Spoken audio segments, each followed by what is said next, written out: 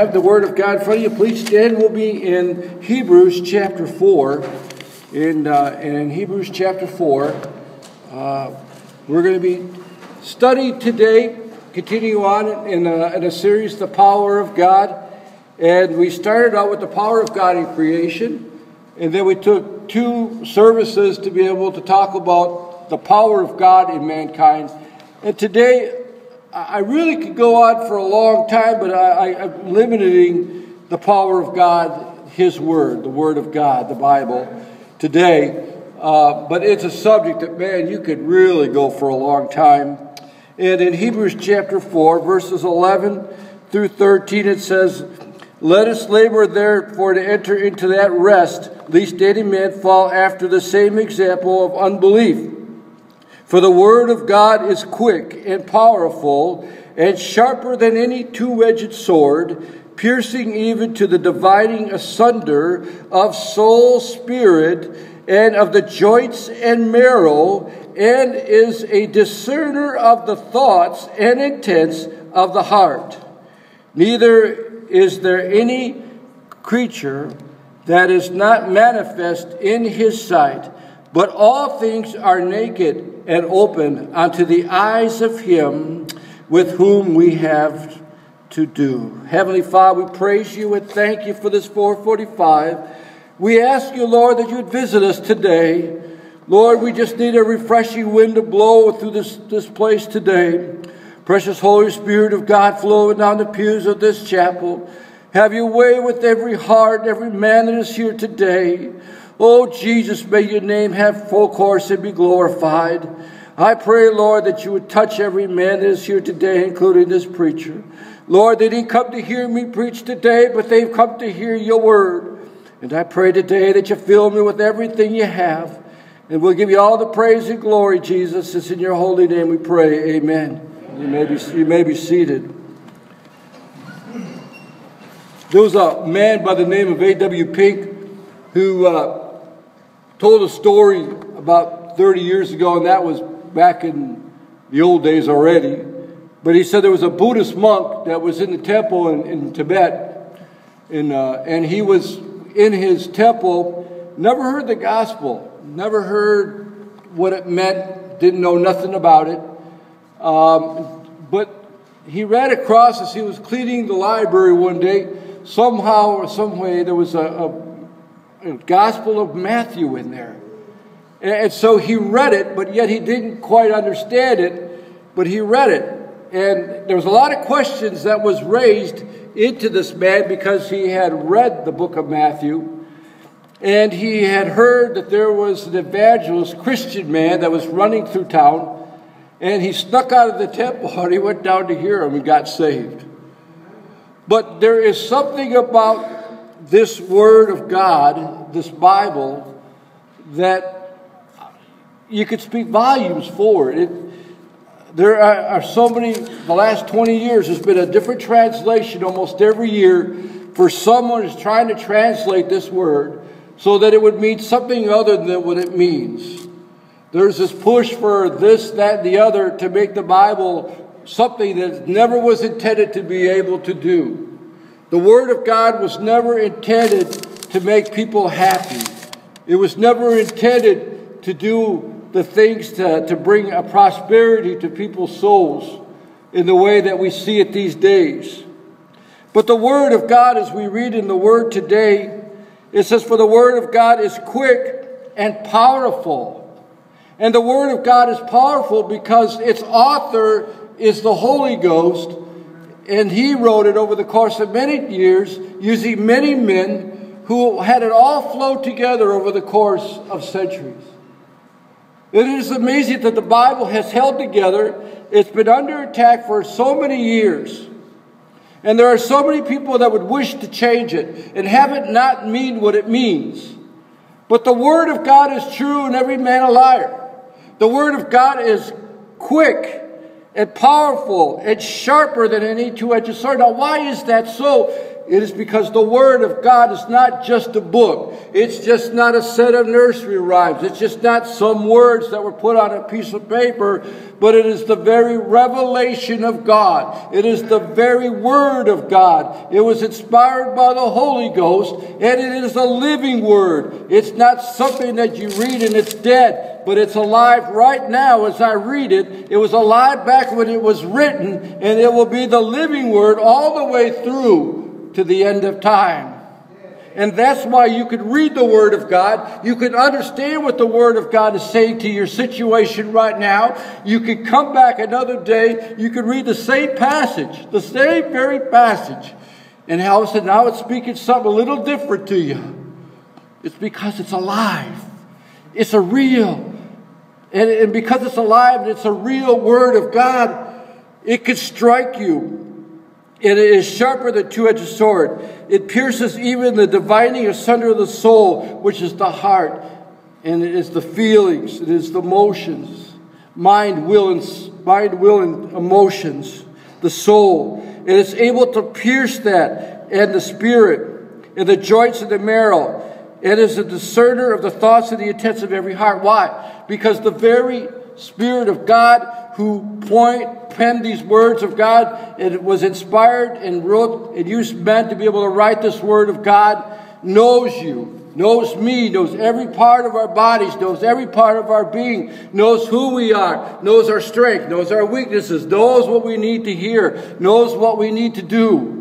And the Word of God, because it is what it is, can go into us because it is alive. And because it's alive, it can come into your heart. It can come into your soul. And it can do the work that God needs it to do in order not only to conform it to the image of God, but to bring you into a saving relation with God. It knows exactly how to touch your heart. It knows exactly how to speak to your soul at every issue. It knows exactly how to be able to touch you when you need to be touched. It knows how to cheer you. It knows how to comfort you. It knows how to make you glad. It knows how to make you convicted when you sin. It knows how to do everything. And it runs the gamut because it knows you. It knows your heart. And we don't know our own hearts, but the Word of God does. And it says that it is, it even divides the son of the soul, the spirit, and the joints of the marrow, it is a discerner and the thoughts and the intents of the heart. It knows exactly, gentlemen, everything that you're going to think from between now and the end of time. And the Word of God will be able to address those things. And it says, Neither is there any creature that is not manifest in his sight but all things are naked and open unto the eyes of him with whom we have to do. You see, you and I think we have these clothes on and we think we're our own man. But God looks at you and I, He sees right through to us. He sees right through to us, to the very heart, the very nature of who we are, and the very substance and essence of who we are. He knows exactly who we are. And he knows exactly what he's got to be able to do with you and I to mold us into the image of his son Jesus. He knows exactly what he's got to do with us. And the word of God is used to be able to do those things. And the word of God discerns those things. The word of God knows what it's going to take. And as you read and as you look to the word of God, it addresses every situation in life. You say, well, there's many things that the, the Bible I heard doesn't address. There are some things that are a little vague into the Word of God. I will admit that. But I will tell you, as I read the Word of God, and as I'm in my daily meditation, and as I am just going through my devotions every day, the Word of God speaks very clearly to those issues that it doesn't really speak that loudly about in written form. But I'm just as convicted on those things that are vaguely talked about the Word of God, just as I am the ones that are crystal clear, black and white. I'm just as convicted because the Word of God, as I read my devotions, the Bible will say, What about this? What about that in your life, Mike? What about this? What about that? And the Word of God just as addresses everything about who I am because it knows me. And I'm naked before this Word of God as I'm reading it. And as I'm, as I'm reading it, it convicts me. And it also lifts words off the page at me to tell me, Mike, I want your attention on whatever this is that I'm reading. And the Word of God is alive because it's able to do those things. And it's able to speak to your heart. And the good news, I've, been, I've talked to saints who've been saved for, it seems like forever. Uh, I have a man in my church, he's got saved when he was six years old. He's now in his 80s. He tells me that he still reads the Word of God and he has only touched the surface of all of the things and all of the meanings that are in the Word of God. Because it's alive. And as long as this man's a sinner, as long as this man is alive, and as long as he's growing in his walk with Christ, it is going to continue to convict him. It's going to continue to mold him into the image of Christ until the day that he dies. Amen. It takes no vacations. And so it's the Word of God, and it's alive.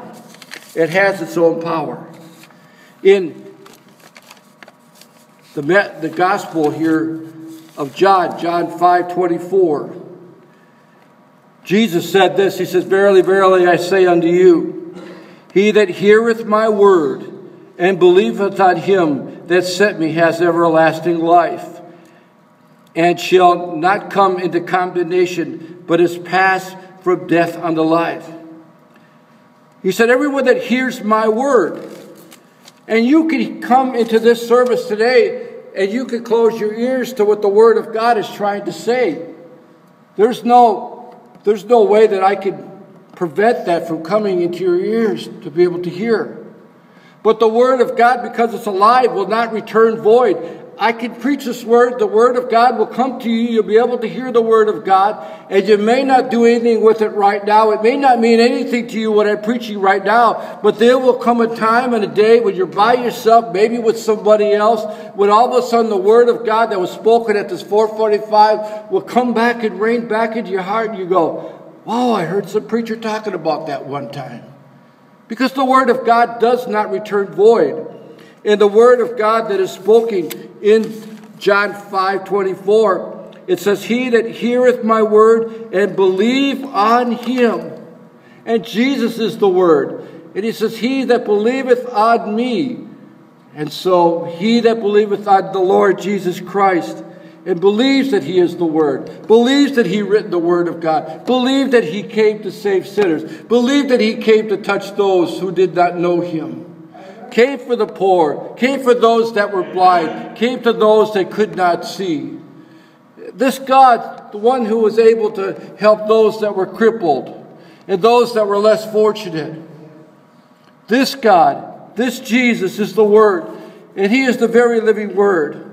But he says we need to believe on him. We need to believe in his word. We need to believe that he indeed is the Christ. In Psalm 56, verses 4 through 11. It says, In God I will praise his word. In God I will put my trust. I will not fear what flesh can do unto me. Every day they wrest my words. All their thoughts are against me for evil. They gather themselves together, they hide themselves, they mark my steps when they wait for my soul. Shall they escape my iniquity? In thine anger cast down the people, O God. Thou tellest my wanderings. Put thou my tears unto my bottle, and they not in thy book. When I cry unto thee, then shall my enemies turn back. This I know, for God is for me. In God I will praise his word. In the Lord I will praise his word. You see, this Word of God is a comfort. And it brings a comfort to you because it's not changeable. The Word of God was true when it was written.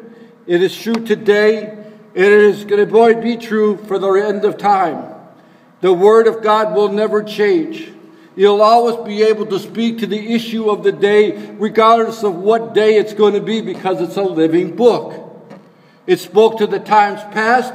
At times it took spoke to people all through all the generations. It speaks to us very clearly today. And in the Word of God, as we preach it, as we teach it, as we, we speak it, it's as relevant today as it was the day it was written.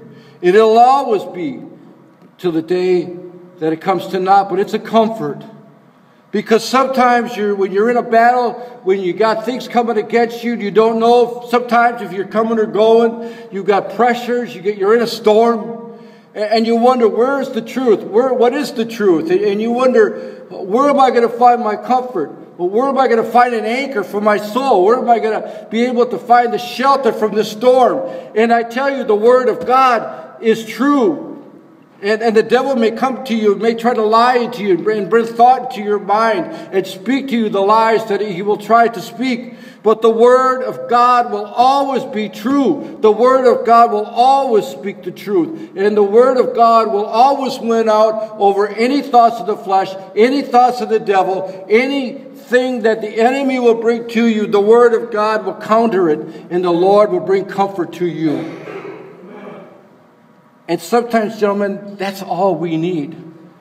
We just need a reality check to know that what we're going through and what we're seeing in front of us and all of the difficulties that we're having has some meaning to it. There's a reason why everything just seems to happen. And, and there is. The Bible speaks to all those things.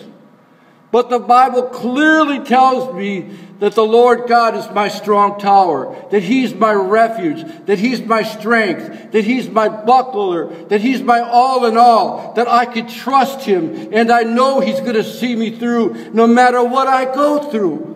And the Bible will comfort you in those ways because it's a surety as to the truth and to everything that it says is backed up verse by verse. Every word, every tittle, the Word of God is true. And it's wonderful to have a foundation when you know that the Word of God will speak to it. And I, am thankful that the Lord gave me His love letter. I'm thankful that the Lord gave me a word that I could meditate on, that I could pray on, that I could say, Lord, what do you have for me today? And start reading His Word and start getting into it and understand that there is something that God is trying to speak to me today.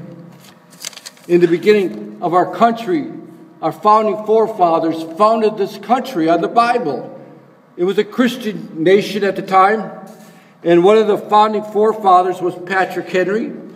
And Patrick Henry said the Bible is worth all the other books which have been printed, and it is it has been my misfortune that I have never found time to read it with the proper attention and feeling till lately. I trust in the mercy of heaven that it is not yet too late. Patrick Henry wrote this, one of our founding forefathers. And you see, the founding forefathers knew the value of the Word of God, knew the value of the Bible, and staked their lives on the very Word of God. Men later on that became and wrote and printed the Word of God, burned at this very stake for this very Word of God. For translating it and putting it into English so you and I could read it and putting it into, into words that you and I could understand, they died at the stake. People died for the very sake, for the very Word of God that you are being able to read today. And some of us have three and four Bibles later on our house, and we take it for granted that this is the very Word of God, but we seldom understand the sacrifice that people made in order for us to be able to have the written Word of God, to be able to read it. And there are good versions of the Word of God, and there are some that are okay, and there are some that are just outright horrible. But in everything, the Word of God should be read it should be meditated on, and it should be pondering on it, and you shall let it rule and reign your life.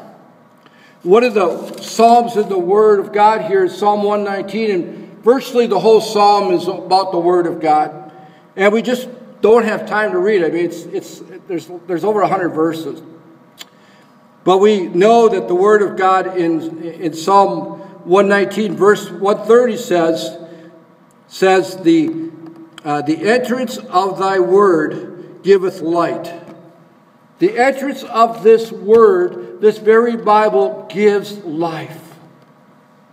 And so you, you may be dead in who you are. You may be dead in your sin spiritually. You may not have a spiritual appetite. But the Word of God says in Psalm 119, 130, that this very Word will give you light. Will give you an entrance to be able to awaken your soul, awaken your conscience to the very fact that there is a God. But the other things that I like about the Word of God, in Psalm 119, it talks about this is an instruction book. It talks about the Bible as being a guide. It's being a resource. Uh, we read that was a light. It was a comfort. We, we talked about the control, the truth, and the way of life. And the Word of God speaks to this and, and a thousand more issues that we, in a, thousand more ways that we don't even have time today. But it's this Word of God that gives life. And this Word of God, when it gives you life and it gives you light, you're able to see who you are. And when you read the Word of God, it's like looking in a reflection glass. It's like looking in a mirror and you see yourself through the very Word of God. And it points out to you your strengths and preaches, points out your, wit, your weaknesses. And it convicts you the areas that you need to convict. But it also strengthens you, gentlemen. It strengthens you in your time of weakness. It strengthens you in the time of the storm. It strengthens you as you go through about your day. That's right. It reminds you it reminds you, you know what? I have given my life to the Lord. I am a child of God. My name is written in the Lamb's Book of Life. This is not my home. I'm only just passing through as a pilgrim. I'm spending eternity with the Father. I know where I'm headed for. And the Word of God will convict, convict, comfort you and it will convict you. Whatever way it, you need to, for that period of time, it's going to tell you that. And I, have been convicted many times read the Word of God. Michael, you should have done that. Michael, you've got this issue. And then I'm cut to the heart. I'm cut to the heart by the very Word of God that I'm reading, the same Word that comforted me, the same Word of God that's gave me so much encouragement and got me so excited also convicts me. But, gentlemen, the good news is this that the very Word of God that brings a conviction upon your heart, when you read the Word of God, will also show you a way to deal with it and help you to overcome. The Lord is not a killjoy. He's just not going to bring a conviction in your life and just let you hang there and say, well, I guess you guys uh, got it going now. No, the Lord wants you to see you overcome. He has your best intentions in mind, your best in His thoughts. And he wants you to overcome. So he brings a conviction, but in that conviction, there's always a way out. There's always a way to overcome whatever that is that's in your life. And the Word of God will speak to those issues. It will help you. It will under, it help you to understand all that is written. And now somebody will come up and they'll say, well, what about all those supposed contradictions that are in the Word of God. You know, we hear that there's plenty of those. And uh, it's interesting that whenever I get somebody that asks me the question, uh, first of all, they, most of the time, they don't know what the contradictions are because they never read the Word of God. But even if they did read the Word of God, and even if they were knowledgeable, and even if they thought there were supposed contradictions, there is an explanation, gentlemen, for every counter, supposed contradiction that's in the Word of God. And there's books written on those to be able to explain those. And some of that is well beyond what my mind can grasp or understand, but I get it when I read the, when I get why they are what they are. It's not that difficult to understand. It takes it takes digging is what it takes. And it takes a little more investigation of what you're reading, and you'll get it. And that's how I was able to, to be able to do it.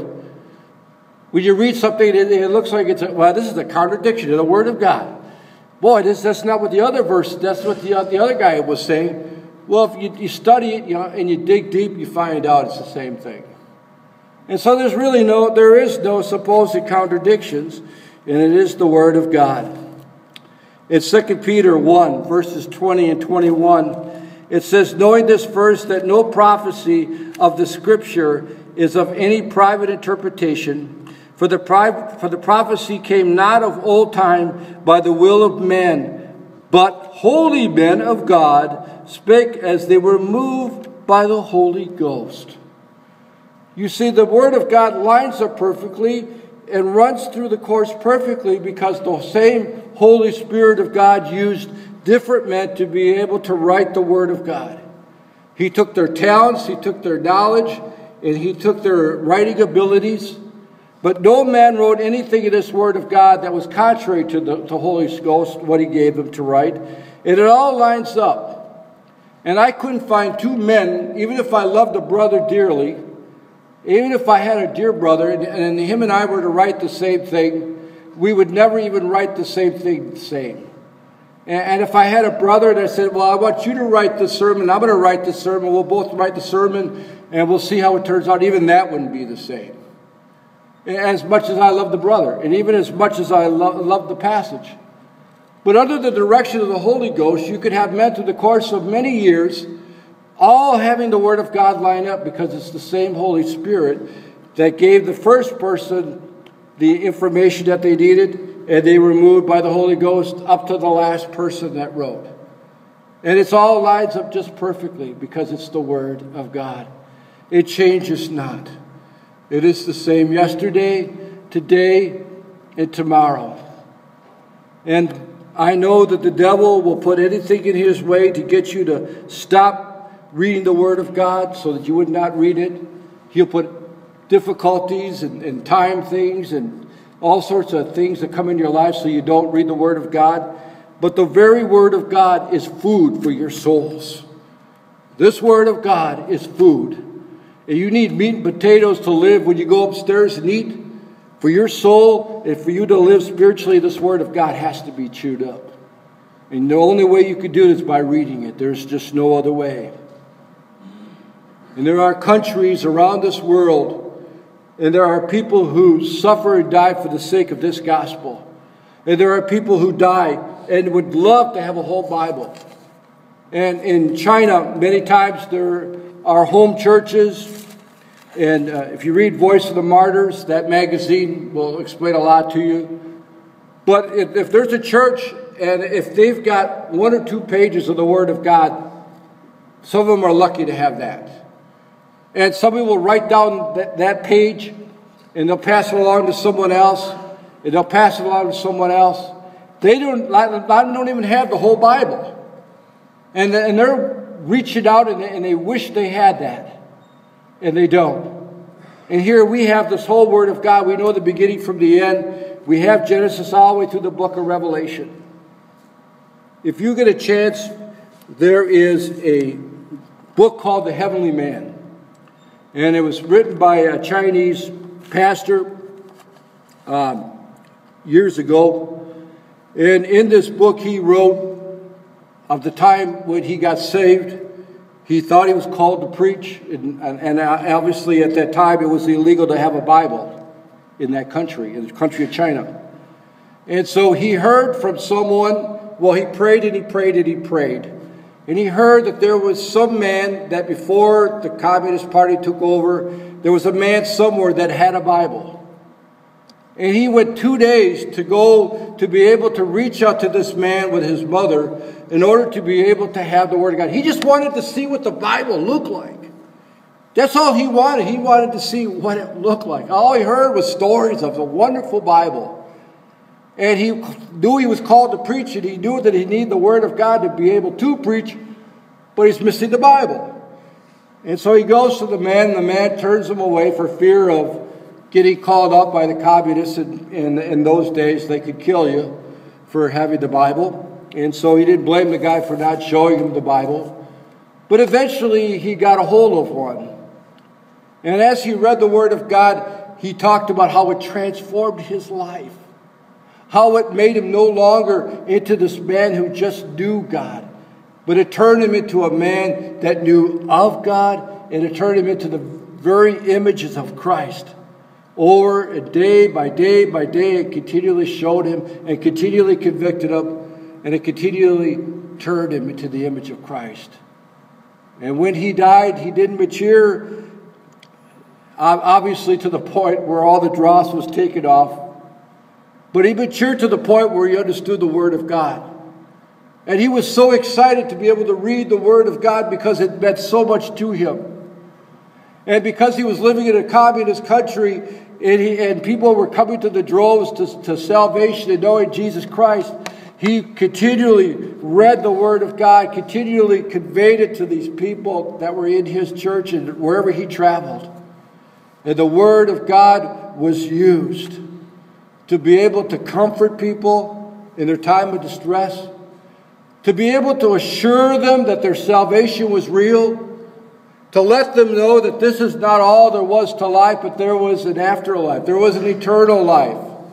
And when they accepted Christ, they, they entered into eternal life to spend eternity with God. And although they suffered many things, many of his parishioners died, went to prison, was tortured for all the for just being a Christian. He continually talked of how the Word of God strengthened him, strengthened the parishioners, strengthened the people.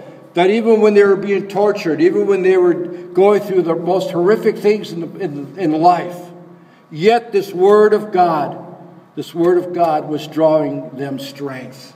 Why? Because it's not a dead book.